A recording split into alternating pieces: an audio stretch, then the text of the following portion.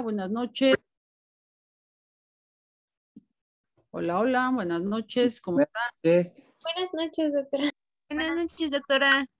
Vamos a ver el tema que está programado en el, en el programa que les di, valga la redundancia. Entonces me toca darles neurohipófisis. ¿Ya lo están viendo? No, doctora. Todavía no. A ver, vamos a ver. No. Déjenlo ver qué pasó. Mm -hmm. Mm -hmm. Mm -hmm.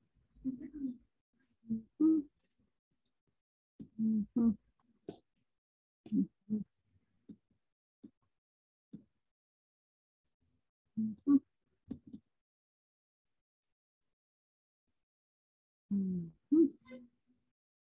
¿Ya?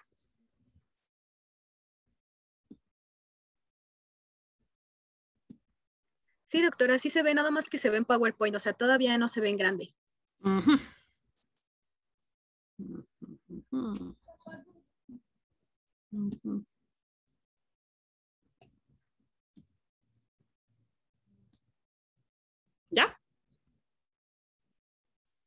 Sí, ya, doctora. ¿Se ve en grande o se sigue viendo un chico? Díganme la verdad. Ya se ve bien. Se ve grande. ¿Sí se ve en grande? Bueno, muy bien. Entonces vamos a hablar de neurohipófisis. Ya vimos las cuestiones este, generales en la, pues cómo funciona la neurohipófisis. Y este, a ver. Ujú. A ver, Samantha Rodríguez. Aquí estoy. Danos algún recordatorio de lo que puedas hablar acerca de la neurohipófisis, lo que puedas y quieras hablar de la neurohipófisis, para darnos una recordada rápida. Ah, bueno, esto eh, yo más lo relaciono con la clase pasada, que justamente la, la neuropófisis, eh, la estábamos viendo que es un, es parte de las hormonas que están tan, eh, de forma neuroendocrina y Mm. cumplían con liberar varias este, hormonas, tanto liber- eh, tengo entendido que son las liberadoras, aparte de que tienen que ver con otro, que son para otros órganos. En este caso, normalmente lo que, lo, donde vemos el problema son cuando hay tumores y no sé específicamente qué más decir. Bueno, a ver, Paola Rivera, ¿ahí estás? Sí, doctora. A ver, ¿qué hormonas eh, produce la neurohipófisis? Pues como tal, yo recuerdo que en sí la neurohipófisis era la que iba a almacenar a la Ajá. oxitocina y a la ADH, las que, y bueno, que estas eran producidas por el hipotálamo. Entonces, Exacto. la solo es Muy- como... Muy bien, excelente. A ver, entonces tú, por favor, léeme la primera diapositiva. Eh, masculino de 15 años, antecedente de madre con diabetes mellitus tipo 2, abuela materna fallecida de cáncer de hígado y tía materna que padecía cáncer de colon, sin enfermedad hasta el padecimiento actual.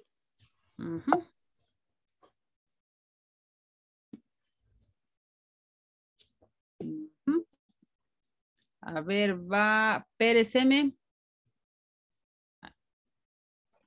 Sí, doctora. Acudió, acudió a consulta por ingesta constante de agua, lo cual llegó a ser de más de 8, de 8 a 10 litros al día, también con volúmenes urinarios de orina elevados.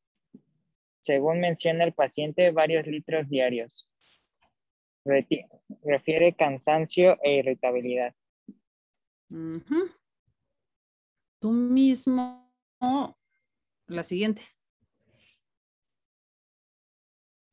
¿Usted considera que el primer estudio que debe realizar en este paciente es a examen general de orina, osmolaridad urinaria, electrolitos séricos, todas las anteriores?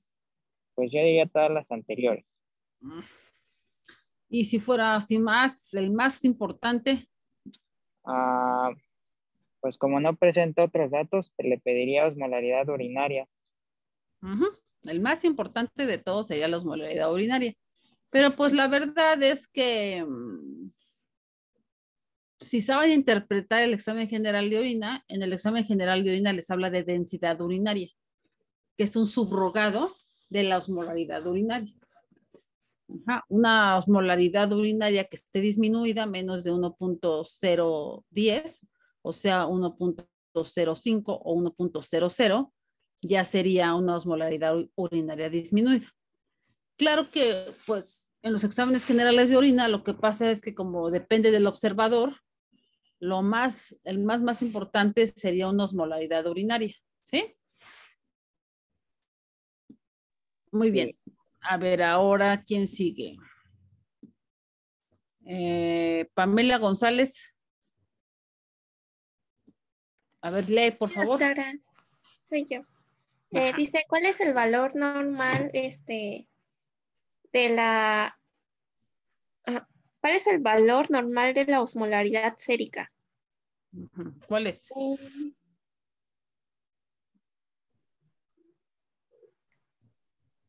Era menor a 280, ¿no?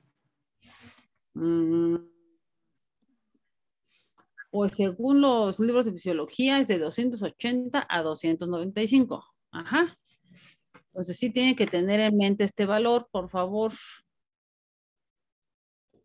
Entonces, en esta positiva, pues les cuento que las causas de elevación de la osmolaridad sérica pueden ser variadas ajá, y pueden ser por estímulos externos, pues muy comunes. Eh, entre ellas están una sudoración excesiva, quemaduras, poliuria que se presenta por glucosuria o fiebre, también puede elevar la osmolaridad sérica. Las que estas causas en forma fisiológica aumentan la secreción de hormona antidiurética, por lo que va a una disminución del volumen urinario y la orina es más concentrada o sea, aumenta la osmolaridad urinaria.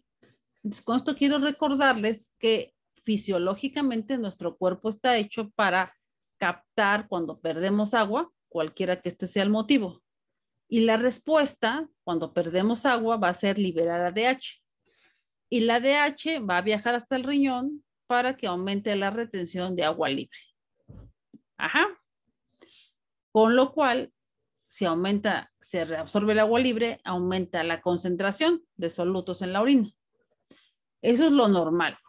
Ahora, hay causas patológicas. A ver, Lidice Martínez. A ver, léenos lo que sigue. Mm, dice, hay patologías que hacen que la secreción de esta hormona disminuya y cause diabetes insípida. Estas causas son las siguientes, excepto traumatismo craneoencefálico, eh, posquirúrgico después de una cirugía de hipófisis, por ejemplo, en la recesión de un tumor hipofisiario, tumores craneofaringioma, infecciones, por ejemplo, tuberculosis, o fármacos como clorpromacina eh, y aloperidol o y ketio, ¿Qué te opina? Muy bien. Entonces, ¿cuál sería la respuesta? Eh, ¿Podrían ser las, los fármacos? Sí, los fármacos que causan diabetes insípida, sí los hay, pero no son esos.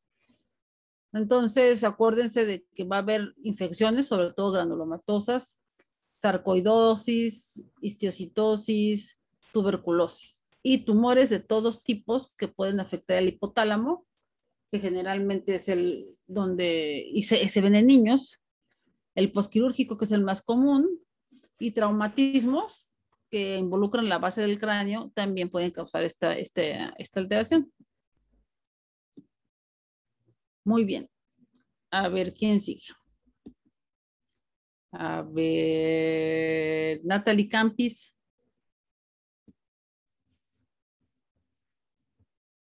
Vas. Natalie Campis a la 1. Natalie Campis a las 2. Natalie Campis a las 3. Miriam Jiménez. ¿Ahí estás? Sí, aquí estoy. A ver, vamos. Ah, dice, los criterios diagnósticos de diabetes insípida son A, osmolalidad urinaria baja, es decir, menos de 300 milimoles por kilogramo, eh, para una osmolaridad plasmática alta, B, osmolaridad urinaria baja, menos de 300 milimoles por kilogramo para una osmolaridad plasmática baja, C, una osmolaridad urinaria baja, menos de 300 milimoles por kilogramo para una osmolaridad plasmática normal y D, A y B son ciertas. Ah,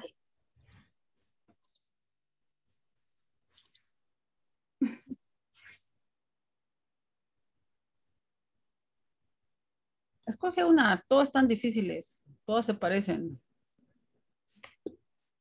mm, es la A. sería la... ajá. O la edad urinaria baja. Váyanse acordando de estos valores, menos de 300 mini- miniosmoles por kilo para una osmolaridad plasmática alta. Ahorita vamos a ver unas gráficas que nos van a aclarar este punto. A ver, ¿quién sigue? Mm, Jennifer Millán. Aquí estoy, doctora. A ver. Vas.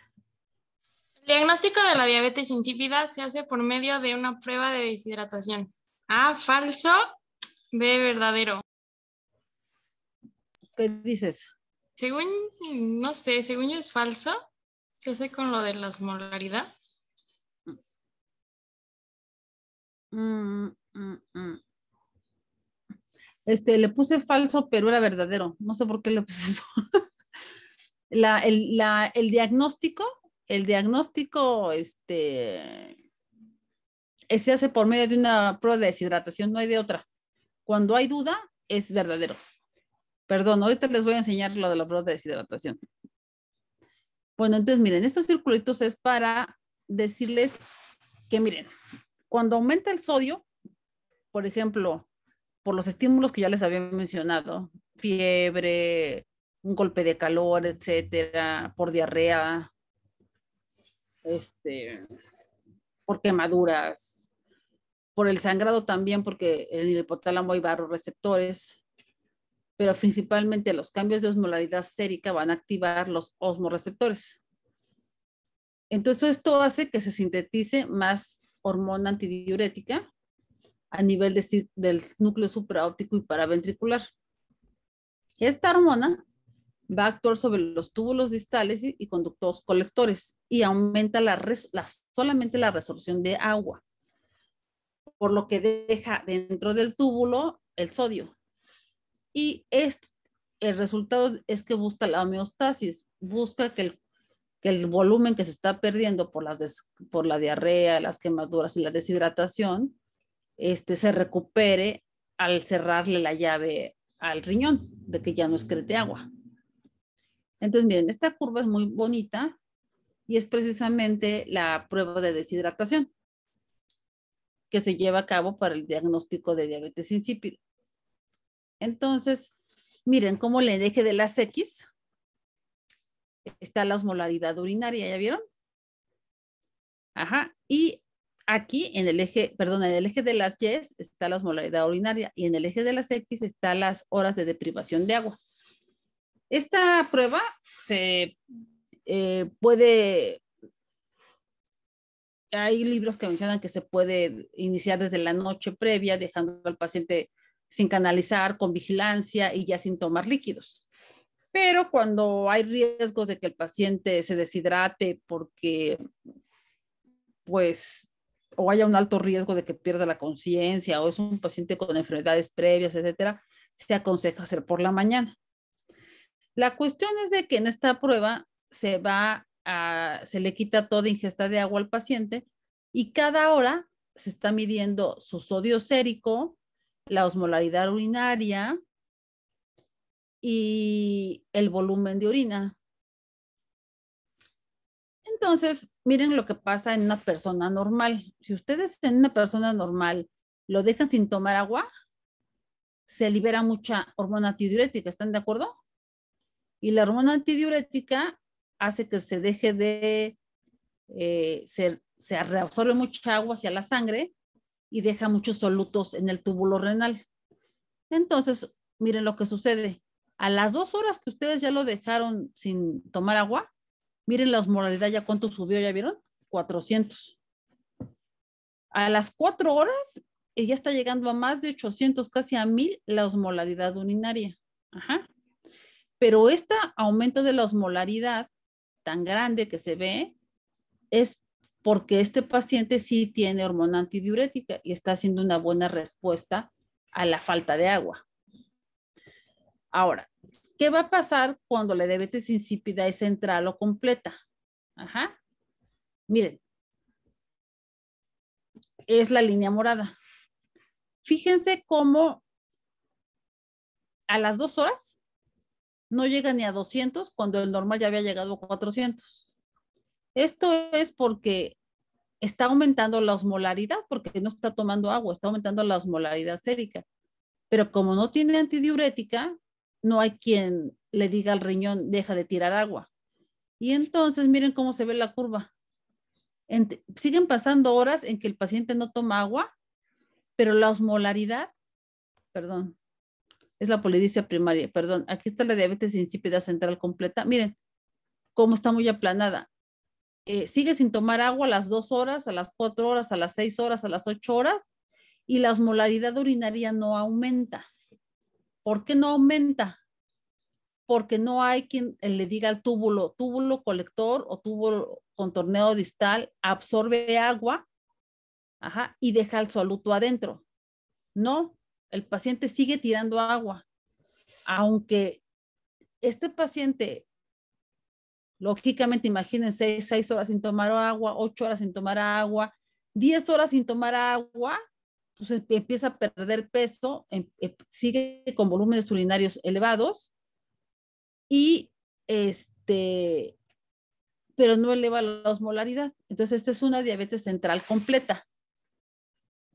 En la parte de la prueba, cuando se completan este determinado tiempo, se les pone desmopresina, que es un medicamento que se pone intravenoso, se puede poner subcutáneo, o hay intranasal, o hay tabletas. Y, la prueba termina cuando el paciente no eleva la osmolaridad y le das desmopresina, y en el momento en que le das la hormona que le falta, ¡fum! eleva la osmolaridad de la orina. ¿Ya vieron? Entonces, esto pasa en la diabetes insípida central, esto pasa en la diabetes insípida nefrogénica, porque también hay una diabetes insípida nefrogénica en la cual no hay acuaporinas en el riñón y no tienen donde pegarse la DH. Entonces, tampoco aumenta la osmolaridad urinaria, se queda plana, pero como no aquí este paciente sí tiene desmopresina, nada más que no tiene la sensibilidad en los receptores del túbulo. Entonces, por eso cuando le das desmopresina no sube. ¿Ya vieron? Entonces, estos dos pues, son los ejemplos claros que ustedes deben guardar en su memoria como diagnósticos de diabetes insípida, ya sea central o nefrogénica. Y el otro espectro que es el de la normal. Hay unos rangos intermedios, que es la polidipsia primaria y la diabetes insípida parcial. Ajá. Y ahí pues ya se utilizan unos criterios de que la osmolaridad sérica no llega a 600 hasta después de la aplicación de desmopresina sintética, por ejemplo, en la diabetes insípida parcial. Y en la polidipsia primaria, el paciente no empieza a ser una, una, una cosa, una, una, una, se aplana la curva. Ya no sube ni baja, sino que se empieza a subir, subir, subir y luego se aplana. Entonces, pero estos, este diagnóstico se hace con la prueba de deshidratación, en el cual el paciente se le lleva una hojita y se está anotando su peso, se le toman eh, electrolitos sodio, potasio, se mide la cantidad de orina, y se mide la osmolaridad urinaria. Miren, por ejemplo, en este paciente que tiene diabetes insípida central, a las 8 horas, si ustedes le midieran el sodio, en la sangre ya lo tendría alto, 145, 150, ajá. Y el volumen de agua que estaría excretando por la orina sería alto, 8, 6, 6 litros, y la osmolaridad no se elevaría como debería ser. Alguien que está deshidratado o está perdiendo volumen, debe de aumentar la osmolaridad. Ajá, y bajar el volumen de orina. Pero en los que no tienen ADH, no pasa esto. Ajá. A ver, Ivette Islas, ahí está. Sí, doctora. A ver, ¿alguna pregunta? Ah, yo le iba a preguntar eh, que si la prueba de deshidratación es la misma, o sea, si la puedo encontrar como test de Miller, porque pues así la había encontrado al principio. Ay, chin. sí tiene un epónimo, pero no me acuerdo cuál. Pero pues si es deshidratación o Miller, pues es esa. Sí, yo también lo encontré como Miller sí, sí es esa. Gracias, Dani. Gracias. Entonces, este, lo que ustedes, por eso les ponía esto. En la curva es muy fácil, a mí me parece que es fácil acordarse, este, pero cuando nos hacen las preguntas, este, es más difícil, porque por ejemplo acá les pongo, los criterios diagnósticos de diabetes insípida son pues, osmolaridad urinaria baja, o sea, menos de 300, para una osmolaridad plasmática alta. Y es lo que vemos en la curva, ¿ya vieron? Menos de 300. Miren, ¿ya vieron? Pues aquí en la, en la curva está peor porque aquí no llega ni a 200. Una osmolaridad urinaria baja para una osmolaridad plasmática alta, porque como aquí bien les digo, aquí el paciente como sigue perdiendo agua, pues ya debe tener un sodio como de 150. ¿Sale? Sé que es difícil recordarlo, pero sí ha habido exámenes del ENARM. Bueno, para acá, para, las, para el uso clínico, ustedes deben recordar este, este cuadro clínico. Ajá.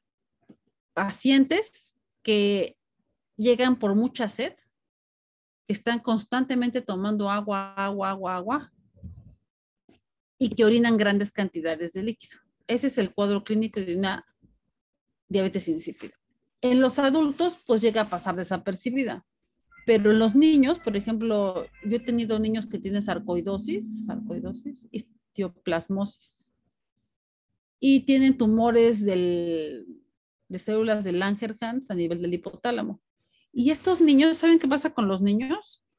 Que pueden tener 3, 2, 3 años y se vuelven muy irritables, todo el tiempo están llorando. Me comentaba una mamá que ella nos explicaba por qué la niña andaba, llegaba de trabajar y la niña atrás de ella. Mamá, tengo sed. Le decía que quería agua y que quería agua y que quería agua. Y la niña se la pasaba tomando agua y se la pasaba tomando agua y se la pasaba tomando agua.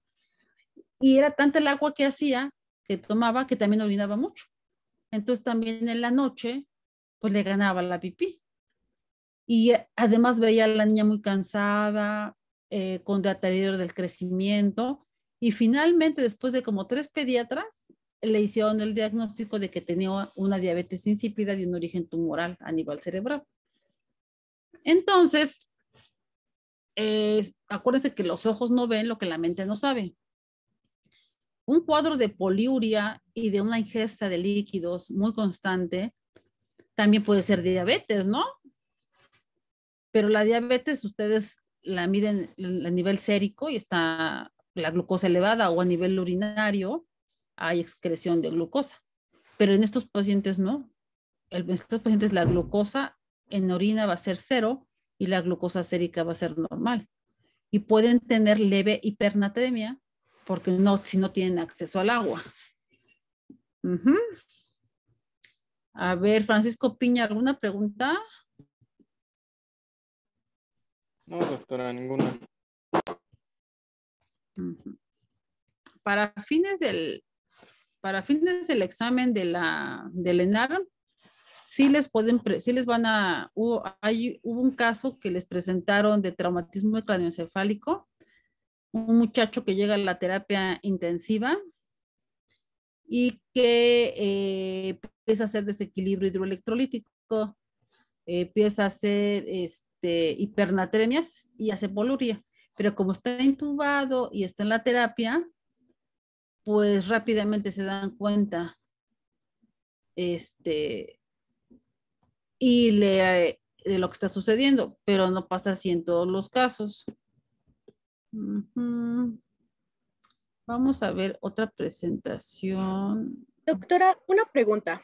Ajá. Y en cuanto a estudios de imagen, ¿es como común llevarlos a cabo o estos no son tan comunes? Cuando tenemos diabetes claro. insípida, llegar a mandar algún estudio de imagen. No, claro, acuérdate que no, pues son este, oh, son muy, muy importantes. Este, mm, fíjate que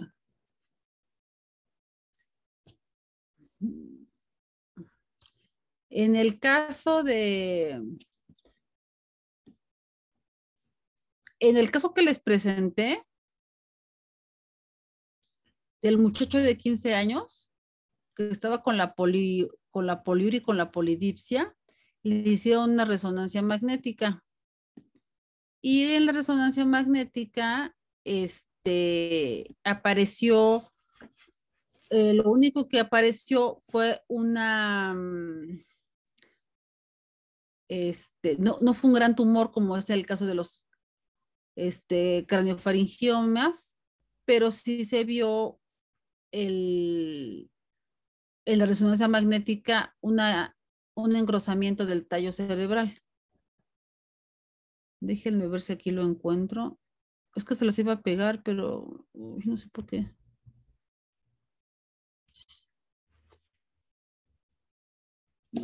Ahorita se los busco. Pero sí se ve, eh, por ejemplo, la, la niña esta que tenía histiocitosis, la diagnosticó una pediatra eh, por la osmolaridad urinaria y porque le tomó radiografías de cráneo y de huesos largos. Y la histiocitosis, que es muy común en los niños, da lesiones líticas en los huesos. Y ahí se vio el, ahí, y ya con un aspirado de médula ósea, etcétera, completaban el diagnóstico. Pero, por ejemplo, en el caso de este muchacho que les presentaba yo en el caso, no eh, se tomó una resonancia magnética y lo que presentó fue un engrosamiento del tallo cerebral. Entonces, no en todos los casos se va a necesitar un estudio de imagen, pero la mayoría, como son gente joven, por ejemplo, pues puede necesitar este, diagnosticar un tumor. Y los más factibles y más este, comunes son los craniofaringiomas es histiocitosis, sin olvidar los, este, las cuestiones del, de infiltrados, ¿no? Como la tuberculosis. Pero esa es la situación. Les voy a buscar la otra presentación, que es de CIHAT. Mm, Gracias, doctora.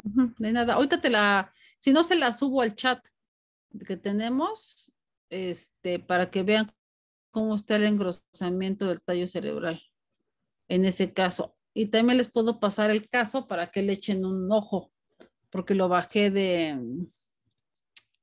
lo bajé de uno de los casos clínicos de internet. Pero déjenme ver porque no encontré otra presentación.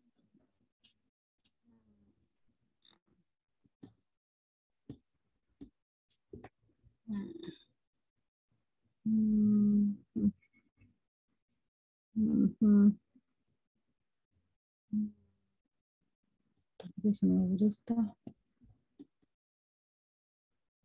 Mm. Ah, es esta. Bueno, esta parte habla de... No, esta es de acné. Este es caso clínico 2. Ya. ¿Ya la ven? ¿Ya lo están viendo? No, doctor. ¿No? ¿No ve nada?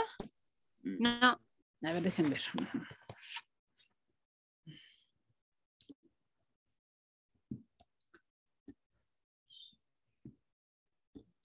Pantalla.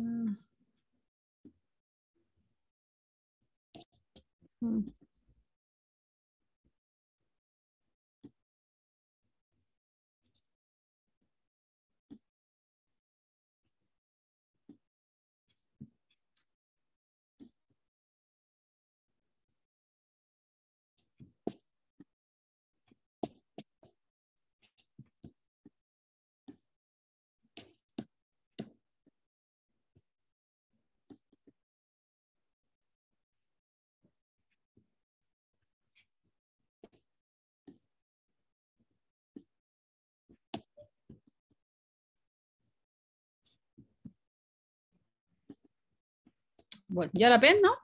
¿Ahora sí? Ya. Ya, bueno. Déjenme saltarme estos porque son de otra cosa.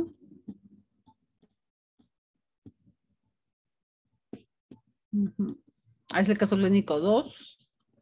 A ver, vamos a ver. Entonces acá necesitamos que Fernanda Juárez nos ayude a leer el caso. Sí. A ver, vas, Ay, espérenme, ¿qué hice? Ya, muy bien. Dice, eh, neurohipófisis, paciente de 65 años. Ingresa a urgencias porque hace 15, hace 15 días, creo, Ah, está con astenia y aridamia y hace tres días está en su domicilio sin querer levantarse de su cama, con indiferencia al medio, con poca ingesta de alimentos, siendo traída finalmente porque no reconoce a sus familiares. A ver, la siguiente. Cursa con antecedente de importancia ser diabética desde hace 10 años, siendo tratada con insulina 20 unidades matutinas y 10, y 10 ves- vespertinas. Hace seis meses le diagnosticaron cáncer pulmonar, cuya estirpe histológica no es especificada por los familiares. Sin embargo, recibe seguimiento por parte de, de oncología de tercer nivel de atención. A su ingreso a urgencias se encuentra con De 110 sobre 70, frecuencia cardíaca de 80 por minuto, respira- bueno, frecuencia respiratoria de 18 y afebril. Se observa desorientada con mucosas oral bien hidratadas, regiones pulmonares sin datos que comentar y no hay edema. Entonces, esos serían los datos. Se los puse en negrita como que los más importantes. Entonces, los laboratorios. A ver, Los- eu- ah. Eunality. Euniality Reyes. Ay, qué doctora. ¿Tú- ¿Cómo te llamas entonces? Si no es Eunice. Euni- Ah, es que, es que como entro por el correo y en el correo así está. Y a veces se Ah. me olvida cambiarlo a Eunice. A ver, Eunice. Entonces, ¿eres Eunice? Sí. Bueno, vas. ¿Qué le ves de raro a estos laboratorios? Pues a ver. Pues creo que la hemoglobina está baja, el sodio también está bajo, el glucosa está normal y Ujú. creatinina no me acuerdo si en los niveles normales. Sí. Entonces resalta que el sodio está bajo 115, porque normal es 135, 145. Ujú. Entonces, ¿cuál es la alteración detectada hasta el momento y cuál sería el primer paso a realizar para estudiar al paciente? Pues bueno, va a ser hiponatremia, ¿no? Y cómo, ¿cuál es el primer paso? Bioquímicamente hablando, para clasificarlo. ¿A alguien se le ocurre algo? Ya el diagnóstico que va a quedar en el expediente va a ser hiponatremia y deterioro neurológico. ¿Le pueden poner algún apellido? ¿Qué harían para poner un apellido? ¿Alguien tiene alguna idea? Pues como dijo, podríamos, pues si de laboratorio, hacer eh, una prueba de osmolaridad urinaria, tal vez. Claro, sí, podría ser una osmolaridad urinaria. Pero, a ver, vamos a ver acá. Entonces, aquí lo que hacemos para abordar la hiponatremia son los siguientes pasos. Eh, la hiponatremia, el siguiente paso va a ser calcular la osmolaridad sérica. Entonces, ¿cuánto tenía de glucosa? 79. Muy bien, 79 y de sodio 115. A ver, apliquen la fórmula y me dicen cuánto es, es glucosa entre 18 por más dos veces el sodio. ¿Cuánto le sale?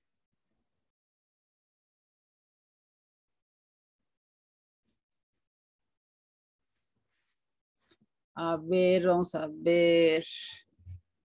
Erika Nájera, ¿cuánto te salió? Estoy haciendo la cuenta, doctora. Es que se me olvidó cuánto tenía de sodio. Eh, 115.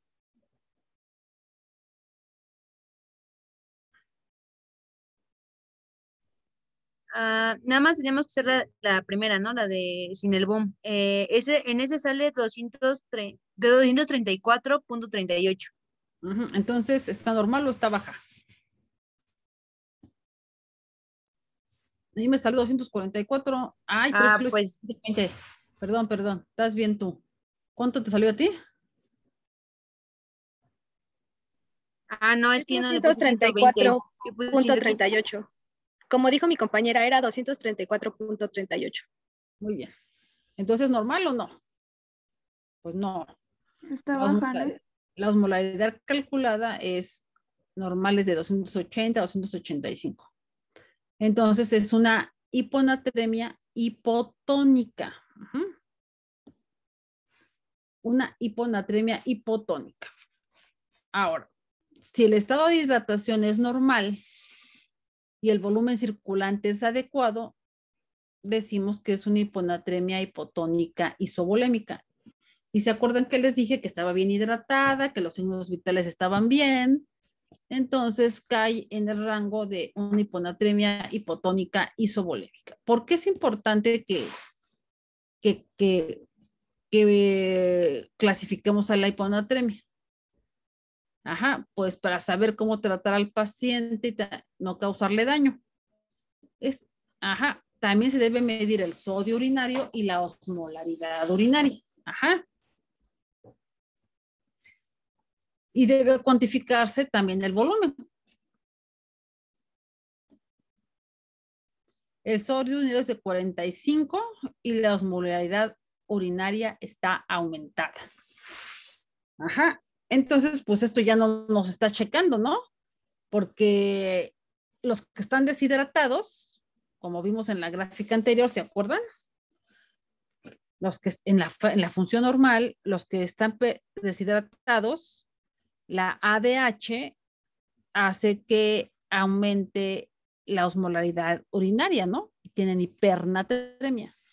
Pero esta paciente tiene hiponatremia y no está deshidratada. Y pues, entonces, ¿por qué tiene la osmolaridad urinaria aumentada? A ver. Ajá. Bueno, el diagnóstico de la paciente es una secreción inapropiada de hormona antidiurética.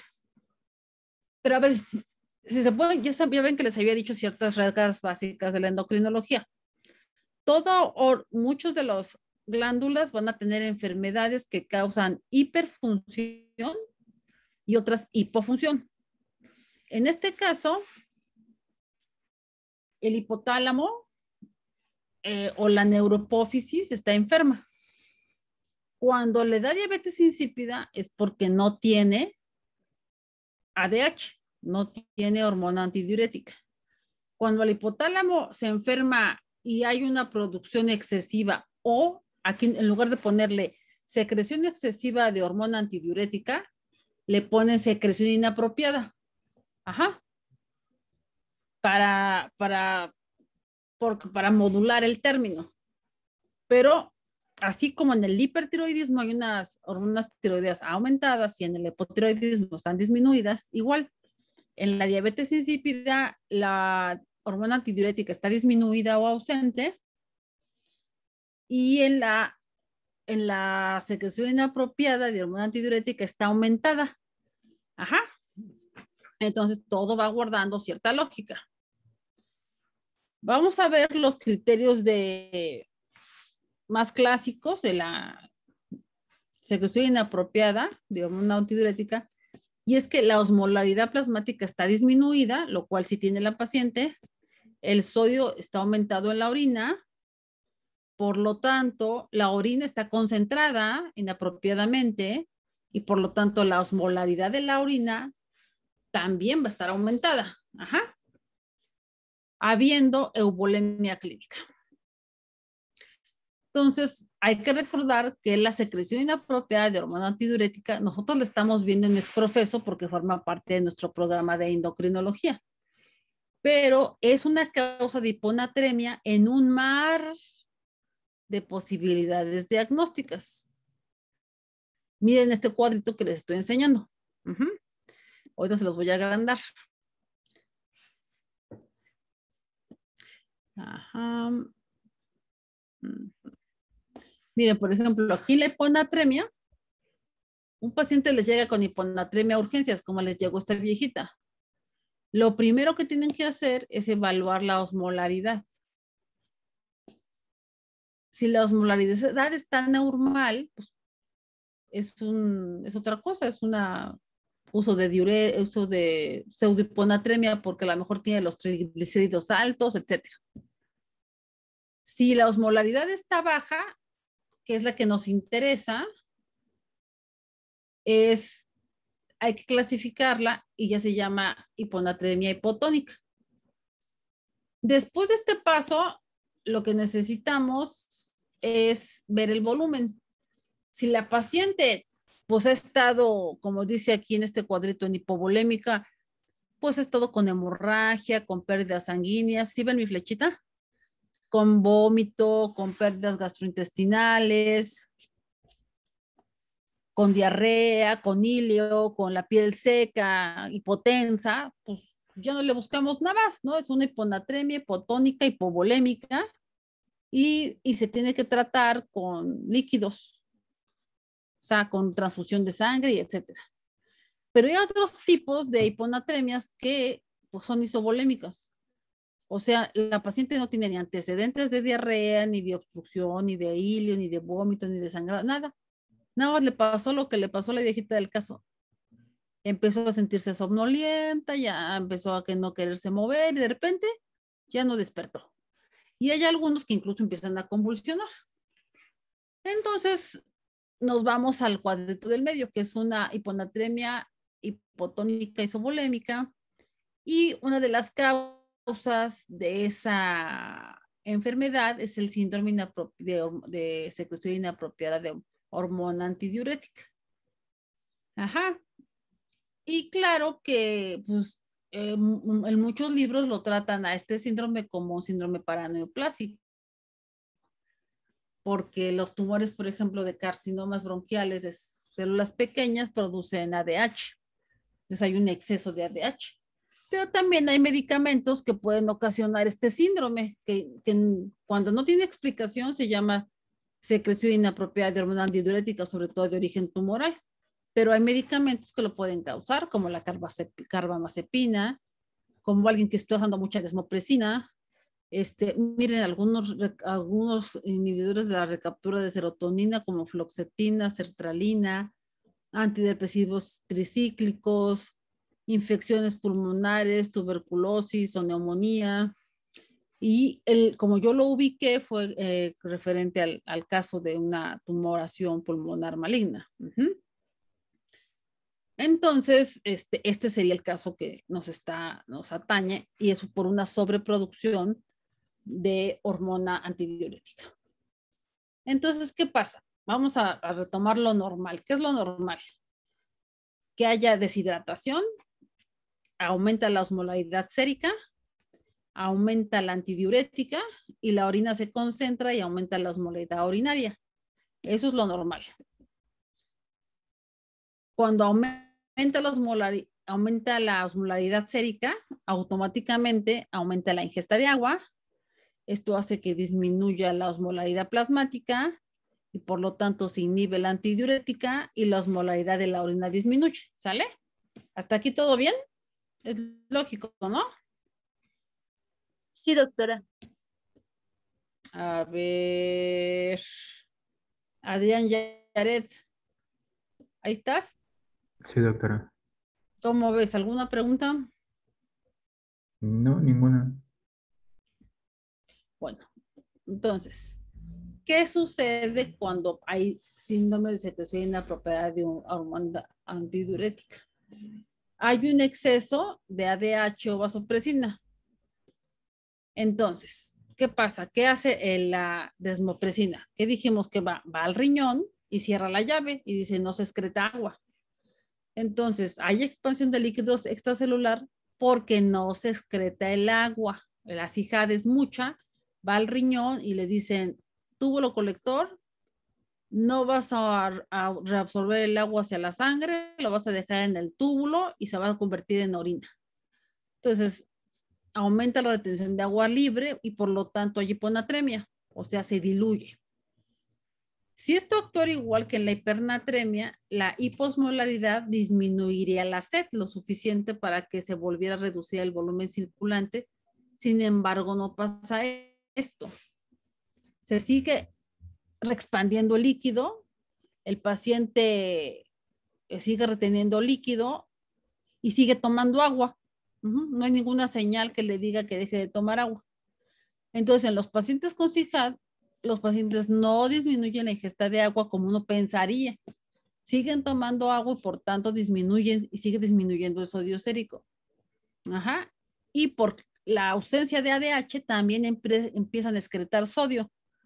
Por lo tanto, pues se agrava la hiponatremia y después pasa una cosa de que las acuaporinas renales disminuyen y se, y se sigue sacando mucha agua.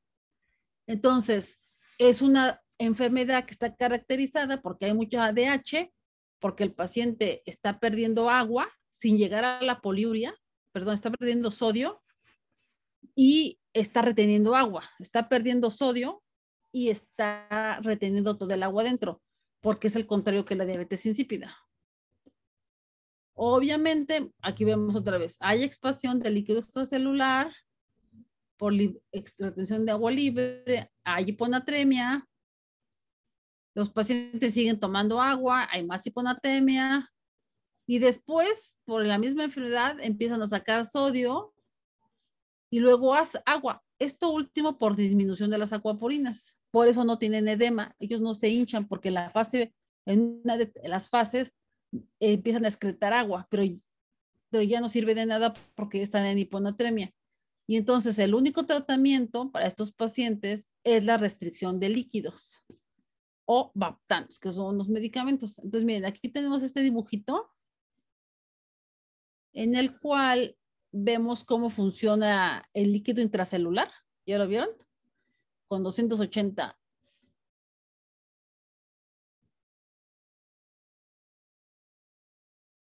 miniosmoles y el líquido extracelular y 140 mini equivalentes de sodio. Y lo que sucede es que baja el, la osmolaridad, este, baja la osmolaridad a 220, el sodio baja también, por lo, porque es el principal regulador de la osmolaridad, baja a 110. En esta etapa, el riñón empieza a tirar sodio, además de que ya hay poquito, lo empieza a tirar, eh, sigue manteniéndose el, la osmolaridad baja, con el sodio bajo, y luego pasa otra etapa en que no solamente se estaba tirando sodio, sino que también se empieza a tirar agua, un escape. Y entonces el paciente por eso no se hincha, pero sigue hiposmolar.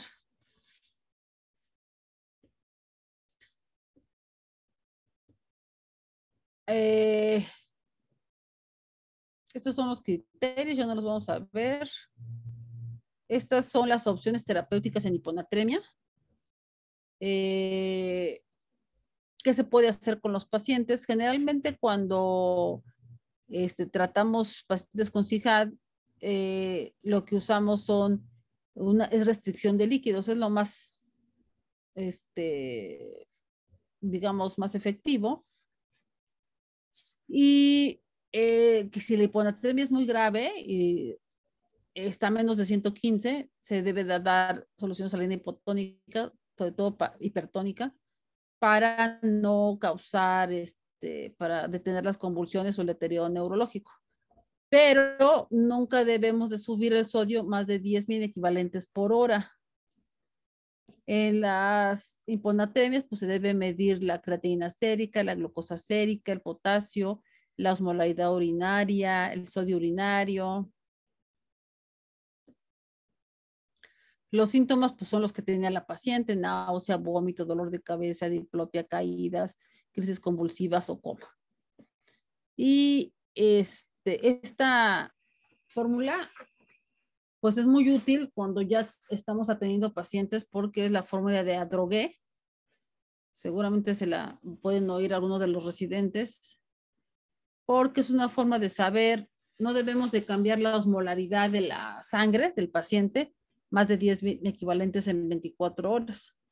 Y si nos emocionamos y le dejamos, no, pues échale mil de solución salina para una hora.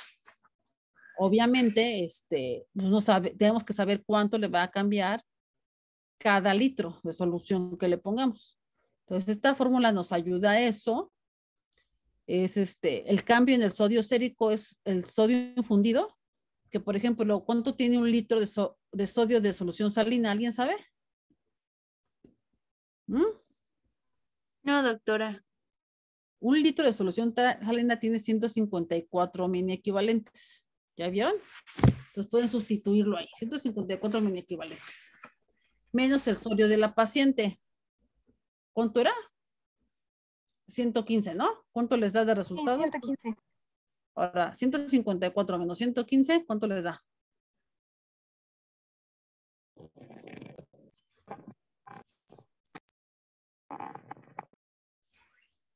Treinta y nueve. Muy bien. Ahora, el agua corporal total en las mujeres es 0.5 por kilo de peso ideal pongan que pesaba 60 kilos. 60 por punto 5 son 30, más 1, 31. Ahora, 39 entre 31, ¿cuánto les da? 1.2.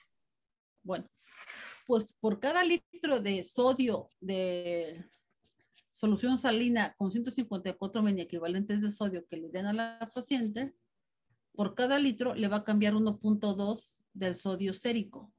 Ajá. Entonces, si ustedes le dejan 3 litros para 24 horas, apenas le van a subir 3 mini equivalentes, o sea, va a quedar en 118. Y eso no va a ser una gran ayuda, ¿no?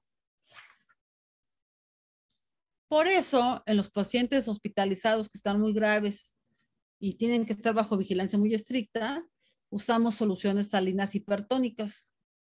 Entonces, hacemos soluciones salinas le ponemos 21 mini equivalentes de sodio, por ejemplo, en, ámpulas, y hacemos infusiones de sodio por litro que tengan este, 180 mini equivalentes. Ajá. Y de ahí vamos calculando cuánto queremos subirle al paciente. ¿Por qué? Pues porque no le tenemos que saber aproximadamente cuánto le sube o cuánto, porque si no tienen cuidado, pueden causar una mielonisis pontina la mielonisis pontina deja los, si le suben muy rápido el sodio, lo van a dejar con cuadriparesia espástica, que es la mielonisis pontina. Ajá. Entonces, por eso ustedes tienen que saber estas formas. Esta es una resonancia magnética que habla de una mielonisis pontina, ese edema este, en el puente. Entonces, esa es la situación con la, este, mm, con la este, secreción inapropiada de hormona antidiurética. ¿Alguna pregunta hasta aquí? Ajá. Aquí vemos las principales causas de la secreción inapropiada de hormona antidiurética, que puede ser la producción ectópica de, tumores, carcinoma broncogénico, del bodeno, del páncreas y esos que están ahí. También puede ser por antiepilépticos, como los que ya les mencioné. Pero pues es un tema interesante. Nada más que puede causar mucha confusión porque, por la, porque se tienen que saber los valores normales de los mm, tener una idea de cómo, de los valores, tienen que memorizar los valores diagnósticos del CIHAD y de la diabetes insípida. Y siempre existe el, el peligro de que se los pregunten. Y yo creo que para fines de ENAR vayan haciendo su libretita de las cosas que tienen que repasar uno o dos días antes de que les dé, que vayan a presentar el examen. Y para la vida diaria, acuérdense que eh, las, cómo se estudian las hiponatremias y cuáles son todas las causas de las hiponatremias. Y que lo que estamos viendo ahorita es solamente un pedazo, es la cereza de un pastel, porque hay muchas causas de hiponatremia, pero como estamos enfocados en endocrinología, teníamos que verlo como tal. Y acuérdense que pues también hay muchas causas de hipernatremias, No todas son diabetes insípidas, pero como estamos enfocados en endocrinología, teníamos que verlos como tema, este, como un tema a tratar, ¿sale? ¿Alguna pregunta hasta aquí? Doctora, en ambos casos los que vimos, ¿es necesario hacer estudios de imagen? O sea, es, o solamente con la clínica eh, sería suficiente. No, pues usted tiene que hacer estudios. No, pues de clínica no se puede hacer nada, porque si fuera clínica, pues nada más verías al paciente convulsionar. Bueno, me refiero a de imagen, no, simplemente laboratorios. No, laboratorios de imagen, sobre todo en la diabetes insípida, que afecta muy frecuentemente a niños y adolescentes. Las causas más frecuentes son tumorales o infiltrativas a nivel del sistema nervioso central. Craniofaringiomas, hemorragias, este, en hipófisis. Entonces, este, puede pasar desapercibida porque pues pueden tomar de, de a loco a una persona, ¿no? La verdad. Dice que orina mucho o dice que su hijo está llorando y lo persigue todo el tiempo porque tiene agua. Entonces, pues, sí les, porque quiere agua. Entonces sí tienen que ponerse muy alertas y decir, a ver, bueno, a ver, este chamaco dicen que podría tener una diabetes insípida. Pues lo primero que tienen que hacer es a- a- a descartar lo más frecuente, ¿no? Que sería diabetes mellitus. Le toman una, un Destrostix y una tira reactiva de orina para ver si está tirando glucosa por la orina, pues es un niño diabético que está debutando con diabetes tipo 1. Pero si le toman una tira reactiva en la orina, sale sin glucosa y sale con la densidad urinaria en 1.00, pues eso no está normal. Y lo envían, pero si así al hospital para que lo, este, lo empiecen a tratar. Que muchos, que los casos que yo he platicado con los pediatras, por ejemplo, en el hospital en donde yo estoy, las mamás llegan directamente a urgencias, pero bueno, pues porque ahí hay hospitales grandes. Pero en un pueblo perdido en la selva, pues vayan ustedes a saber, al único que van a poder ir a ver es a ustedes. Entonces tienen que estar armados con su tira reactiva de glucosa en la sangre para medir los componentes séricos y con su tira reactiva en la orina. Ujú, Entonces me van a tener que llevar al servicio social unas tiras reactivas de orina para detectar glucosuria, infecciones y la densidad urinaria. ¿Sale? Y sí, muchos van a necesitar, sobre todo en los casos de diabetes insípida, este, resonancias o tomografías cerebrales. Y en los casos de secreción inapropiada de hormona antidiurética, si no hay un diurético en especial, si no hay algún medicamento, si no está diagnosticado por el cáncer bronquial, etcétera, pues ustedes tienen que hacer el diagnóstico. Pero generalmente lo que hacemos en medicina es trabajar en equipo. Ajá, no están solos en el mundo. Entonces se tendrá que enviar a un segundo nivel, se tendrán que ayudar de otros especialistas o de, pero ustedes como médicos generales, que finalmente van a salir como médicos generales, tienen que estar abusados para detectar estas cosas. Que no se les vaya a pasar una poliuria a un niño de 5 años. Perfecto, ¿Alguna doctora, gracias. Y una hiponatremia de 115, pues no se puede quedar en su casa, se tiene que ir al hospital. ¿Sale? Ahora, hay otras hiponatremias que creo que no es suficiente énfasis. También desde lo más común, que son estas, miren, hipo- hiponatremias que tienen mucho edema. Por ejemplo, que sí tienen 125 de sodio, están neurológicamente íntegros y además están, pero como globitos, hinchadísimos. Y son los que tienen falla renal, síndrome nefrótico, todos estos, cirrosis, ¿están viendo la flecha? Cirrosis, falla cardíaca, síndrome nefrótico, todos estos están, pero súper hinchados. Y entonces se llama una hiponatremia dilucional, no hay nada hormonal, no hay nada malo hormonal en ellos. Ajá. Pero lo que tienen que estar bien duchos es en esta, en la hipotónica hip- hiponatremia hipotónica isovolémica, ¿sale? Muy bien, pues si no tienen preguntas, ¿alguien quiere agregar algo más? Creo que no, doctora. Bueno, pues entonces, Yo dije que todo bien, doctora. muy bien. Entonces, pues, vámonos, ya nos podemos despedir. Y nos vemos el lunes a las 8, ¿no? Que ya empezaríamos con el temario que les pasé. ¿Están de acuerdo? Sí. Sí. Ven. Sí. Sí. Oigan, y también acuérdense, no, no, este, no poner demasiadas diapositivas, ¿eh? Quiero lo más importante. Que dure como Bueno. una hora, que es lo de la clase. Pues mm, que dure 30 minutos. 35. Está ¿Sale? bien. Bueno, muy bien. Bueno, es que a algunos les dejé dos temas. Cada uno va a presentar un tema, entonces cuando, quienes tenga dos, pues va a durar 30 minutos cada uno, ¿no? Y entonces así juntamos la hora. Quien vaya a presentar uno, pues que dure 35 o 40, ¿no? Bueno, Doctora, una pregunta. ajá. Eh, di- eh, el calendario que puso usted en el Classroom menciona Sí. que para este tenemos que tener ya el mapa mental y un cuadro comparativo. ¿Cuándo la tenemos que entregar o nos habilita ahí en Classroom o se la mandamos Sí, a su correo? voy a habilitar en, voy a hab- habilitar en Classroom. Es que eso es lo que me ha faltado. ¿Y para cuándo serían, doctora? A ver, la primera tarea es el mapa mental eh, sobre producción de adenohipófisis, acromegalia y prolactina. Y la tarea número dos, cuadro comparativo entre DI y secreción inapropiada de hormona antidiurética. Pues la voy a poner la primera entrega para el miércoles. ¿Sale? Sí, Ya gracias. Sí, de ahí- doctora. Ya de ahí nos vamos saltando. Bueno, me dio mucho gusto estar con ustedes. Me despido. Que tengan un buen fin de semana. Adiós. Gracias, Gracias, doctor. doctora. Igual. Hasta luego, doctora. Cuídese. Excelente noche, doctora. Gracias. Adiós, doctora. Gracias, doctora. Hasta luego.